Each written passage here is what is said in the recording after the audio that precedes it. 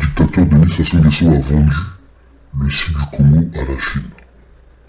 Alors que l'expropriation des populations du sud Congo avance avec le silence complice des autorités locales, Denis Sassou Nguesso vend des terres congolaises aux étrangers. Tel est le cas qui a été constaté par les populations qui vivent près de Djeno, dans la capitale économique du pays.